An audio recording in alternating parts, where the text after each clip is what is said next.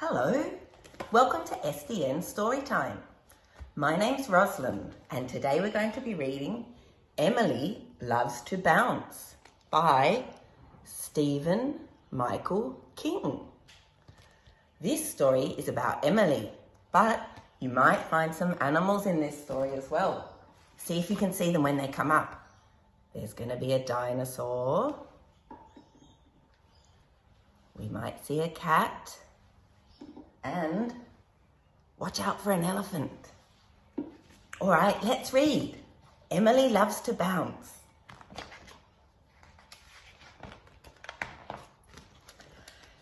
Emily loves to bounce and bounce and bounce and bounce.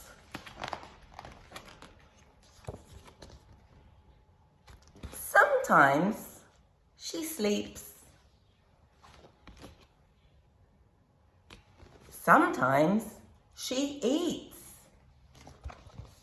But most of all, Emily bounces. She does high bounces and low bounces. She does springing bounces and boiling bounces.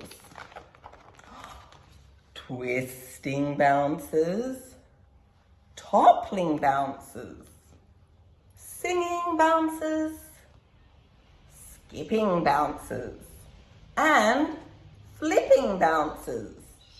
Ta-da! Emily can do flop on her stomach bounces. Boing on one foot bounces. Sit on her bottom bounces. Here it comes. She can bounce with her dinosaurs. Bounce with her cat. Bounce with an elephant. And with Nana Pat.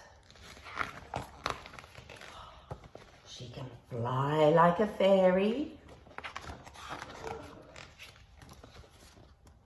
Spring like a frog. Or sometimes imagine she's a blue spotted dog. Woof woof.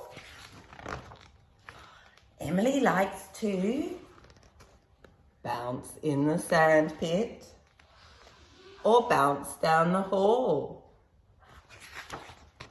But bouncing on mum and dad's bed is the best bounce of all.